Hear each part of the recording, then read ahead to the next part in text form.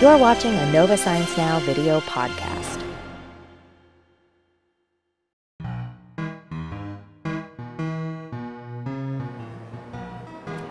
My galaxies are purple. What color are yours? Uh, mine are sky blue. Sky. Here at Nova, we do a lot of things in the name of science. Are you ready? Ready. One, two, Just ask Three. Nova Science Now host Neil deGrasse Tyson. And not all of it is done purely for fun.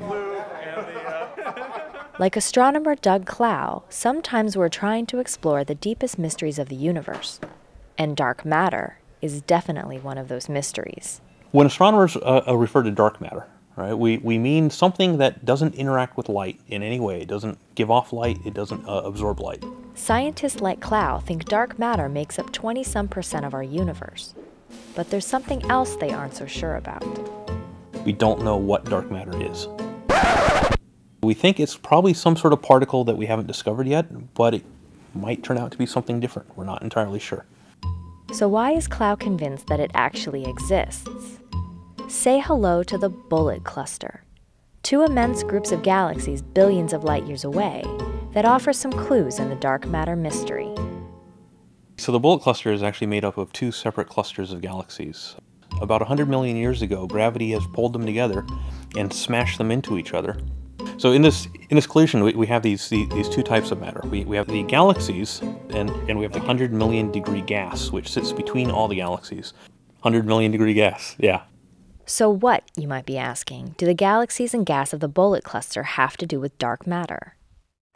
Let's create a mini bullet cluster collision to demonstrate, and here to help is Neil deGrasse Tyson.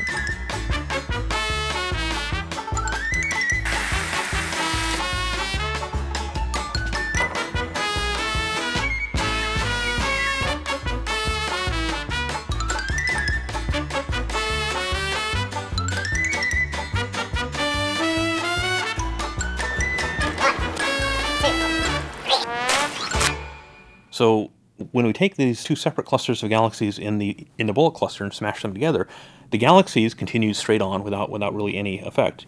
The gas clouds, however, are going to behave just like any other sort of gas, and so they actually do collide. This is going to slow them down. And so now when we look at this cluster about 100 million years later, the galaxies are moving faster than the gas clouds, and so they're going to be further away from, from the center of this collision. In the center of this collision are the intergalactic gas clouds, lagging behind the faster moving galaxies. The, the, the galaxies are now in a physically separate part of the sky from what the gas is. And so we've separated out the two types of matter which we can see. Now, here's the important part matter creates gravity. More matter, more gravity. 90% of this matter is in the gas cloud, and so that is where the gravity should be. But when all the data was put together, that wasn't the case. Instead, we see that most of the gravity is actually around the galaxies. And that tells us that something else has to be there causing this gravity. It can't just be the stars in galaxies themselves. So, is this evidence for dark matter? Let's ask three top experts in the field. there is clearly some stuff there that that is not normal matter and that's making a lot of gravity. I, I really believe that there really there is some dark matter there.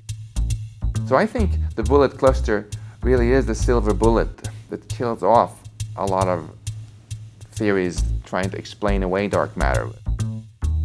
Although the dark matter mystery isn't completely resolved, we may have good reason to be grateful for this mysterious stuff. Dark matter is basically the glue that holds all the large structures in, in the universe together. So without dark matter, we would not currently be here. So, three cheers for dark matter, whatever it may be. For more on dark matter, watch Nova Science Now, airing Wednesday, June 25th on PBS, or join us online at pbs.org slash nova slash science now.